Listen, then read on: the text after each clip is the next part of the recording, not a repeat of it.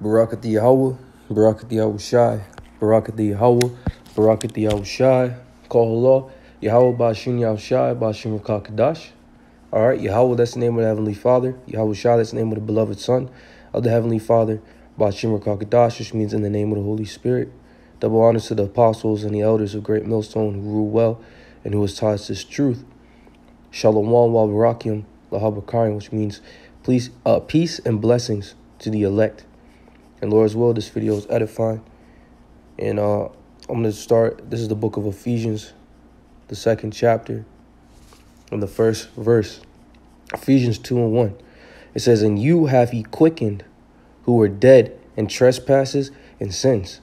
All right. Who quickened us? Yahweh Shai. Okay. Yahweh Bashim Yahweh Shai. Okay. And quicken means to be made alive. All right. So the Lord gave us life. Because once we were dead in trespasses and sins, all right, we were dead, all right, because we didn't know the way of the Lord, all right, and we were sinners. We were out here doing all types of iniquity, all right. Some brothers, we most brothers were getting their head lined up, you know. Some brothers ate abominable foods like pork and shrimp and things of that nature, so on and so forth, okay. But the Lord, He had mercy upon us. He quickened us, all right. But let's get this. This is Proverbs 21 and 16. It says, The man that wandereth out of the way of understanding shall remain in the congregation of the dead. Okay? And we'll go ahead and get the Hebrew word real quick. All right.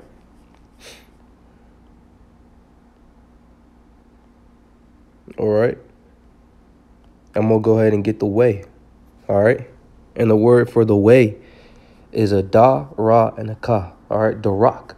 All right. Way, path, journey. Okay. So the scripture says, Proverbs 21 16, the man that wandereth out of the way of understanding, because when you come into this faith, you're now on a course, you're on a journey or a path, all right, the rock, all right, and you're on a path to righteousness, you're on a path to path to life, immortality, you're on a path to life, okay. But the scripture says, the man that wandereth out of the way, so you fall off that course, all right. A man that wandereth out of the way of understanding shall remain in the congregation of the dead, all right, meaning that you're dead. You're not physically dead, all right, but you're spiritually dead, okay? And soon you're going to physically die, okay? Now, this is the book of John, chapter 6, verse 63, all right? Because this is how the Lord, uh, this is how the Lord resurrected us from the dead. This is how the Lord uh, quickened us. John 6 and 63, it says, It is the spirit that quickeneth. Again, quickeneth means to make alive. All right, before we came into this faith, before we learned of Yahweh Bashim Yahweh Shai, we did not, we were not alive. We didn't know the ways of life. Now the Lord has put us on a path in the course of immortality, on the path of life. All right, it is the spirit that quickeneth. The flesh profiteth nothing. So these the, the works and the deeds of the flesh, they profit nothing. All right all the things that we were doing in the world, okay, chasing after women, you know, working out, working out, it profited little, like the scriptures say, but it's still a deed of the flesh. It's not going to give you salvation. All right, it's not going to uh, teach you how to do the things that are pleasing unto our power, Yahweh Bashim Yahweh Shai. All right, working these different jobs, so on and so forth. It says the flesh profited nothing. The words that I speak unto you, they are spirit and they are life. Okay? But these words, they give us life, man. All right? It is the spirit in his life. These, these words give us life. These, these words revitalize us. Okay? And that's what the Lord said he was what, that he was coming to do. All right? That he's going to come and he was going to give life unto the nation of Israel. This is Isaiah chapter 57 and verse 15. It says, For thus saith the high and lofty one. Who's the high and lofty one? That's the heavenly Father Yahweh, the most high. Okay, and the Heavenly Father, Yahweh the Most High, all right, he raised up Yahweh Shai, his only begotten, all right? And through Yahweh Shai, that's how the rest, that's how, starting with the elect, that's how the nation of Israel is going to live. That's how they're going to be uh, set up, all right? For thus saith the high and lofty one, that inhabiteth eternity, because the Most High, he lives forever, all right? Whose name is holy. I dwell in the high and holy place with him also that is of a contrite and humble spirit. So the meek and the lowly, All right, the broken down. All right, that's whom the Lord is dealing with. All right, that's who the Lord uh, dwells with.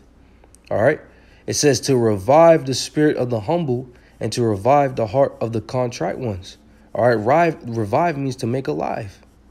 All right, to quicken.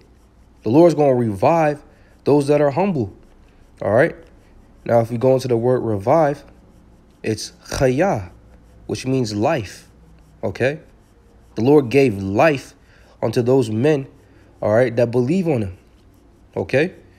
Now, I'm going to go back to Ephesians 2, read some more of that. All right. This is Ephesians 2 and 1. It says, And you have ye quickened who were dead in trespasses and sins. We were once dead in the world, not knowing the ways of the Heavenly Father. All right. But now the Lord has quickened us, revived us, made us alive. All right, through learning of Yahweh hearing this word.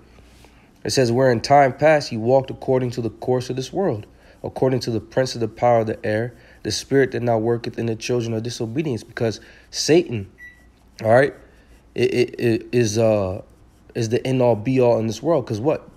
Job 9 and 24. The earth is given into the hand of the wicked. All right. The wicked is in position of rulership. So the, the course of this world is evil. All right. The course of this world is sin. Okay. And it says what? The spirit that now worketh in the children of disobedience, because the two thirds of our nation that's going to be cut off and die, all right, they're the children of disobedience. All right. They don't have a covering over their over their deeds, over their sins. All right. Yahweh's blood covers our deeds. Okay, that we once did. All right. When we were dead in in, in the world. All right. Verse 3, it says, Among whom also we all had our conversation. See? We all had our conversation once. Conversation means uh it means conduct. We were once in the world like the two-thirds are in the world. All right. It says, Among whom also we had our conversation in times past, and the lust of our flesh, fulfilling the desires of the flesh and of the mind, and were by nature the children of wrath, even as others. Because if you're going after your own mind. The scriptures say there's a way that seemeth right unto a man, but the end thereof are the ways of death. So if you're going um according to your own mind, fulfilling your own lusts, all right, that makes you a children of wrath, a child of wrath, because what? The Lord's wrath and his indignation is about to come upon this planet Earth and it's come upon all the children of disobedience, which is another title for the two thirds, and also the children of wrath, which is also another title for the two thirds. All right. It says, But the Heavenly Father, who was rich in mercy for his great love wherewith he loved us, even when we were dead in sins, have quickened us together with Hamashiach by grace, you are saved. You see? But the Heavenly Father, who was rich in mercy. All right, let me go ahead and get a quick precept real quick. This is Psalms uh 10, I believe 103 and verse 11. It says, For as, as the heaven is high above the earth, so great is his mercy toward them that fear him. So just as how much higher the heaven is over the earth, all right, that's how great the, the mercy of the Lord is toward those that fear him, those that fear and, and reverence and have love for Yahweh Shem Yahushai. Okay? So that's why even though we were in the world, okay, in times past, all right, doing wicked deeds, the Lord still quickened us. He still gave us this truth, the understanding of these words. All right? So this is Ephesians 2 and 4. It says, But the heavenly Father who is rich in mercy for great for his great love wherewith he loved us, even when we were dead in sins, have quickened us together with Hamashiach by grace you are saved. All right. So through Yahweh Shai, all right, the Lord by the Lord quickened us. He made us alive. He raised us up from the dead. Essentially, it says it says quicken us together with Yahweh Shai because we know that Yahweh Shai actually was quickened. He was actually raised from the dead. Okay? But the Lord did that to us spiritually. We were we, we were once in a dead state of mind. And now the Lord has uh, given us life. We're alive again. Okay? This is uh, the book of Colossians, chapter 3, verse 1. It says, If ye then be risen with Yahweh Shai, Seek those things which are above, where Yahweh Shai sitteth on the right hand of the Most High. You see? If ye be risen with Yahweh Shai. All right? And, and how are we risen with Yahweh Shai? We have the book All right. We have the book of life. Okay. The scriptures say in Hebrews and also in Psalms, all right, I come in the volume of the book. All right, it is written of me. Okay. And that's speaking of Yahweh Shai. This book, it, it, it speaks of Yahweh Shai. Okay. And that's how we're risen with Yahweh Shai. Okay. And if we be risen with Yahweh Shai, it says, seek those things which are above where Yahweh Shai sitteth on the right hand of the Most High. We're supposed to be kingdomly minded. We're supposed to be meditating and focusing on the things in which the Lord has promised to us. The kingdom of heaven, all right, being established on earth. All right, these other nations going into slavery. Okay, the planet earth being uh, cleaned up and cleansed again. Okay. Verse 2, it says, set your affection on things above, not on things on the earth. So you're not supposed to be setting we're not supposed to be setting our affections on the things that we see right now, whether it be uh, a woman, whether it be a job, whether it be different activities that you like to do. All right, we can't get attached to these things because we understand that it's temporal. All right, but the things to come, the things that we're going to receive, that's immortal. All right. It says, "For your for ye are dead, and your life is hid with Hamashiach in the Most High." So we're supposed to when you come in this truth, though we're alive, though we're freed mentally, because it says the truth shall set you free, all right, we're still uh, suffering, all right, we're still waiting to receive glory, all right, when the Lord returns. Verse 4 says, When Yahweh who is our life, shall appear, then shall ye also appear with him in glory. See, when the Lord returns, all right, everything's going to come full circle. We're going to actually receive immortality. Because even though we have the words of life, the words of immortality, we're still in these bodies that are bodies of death. And we're still in these bodies that go off. All right, but when the Lord returns, okay, we're also, eh, when he returns in his glorious body, okay, he's going to deliver us from these bodies, give us glorious bodies, and we're going to actually live.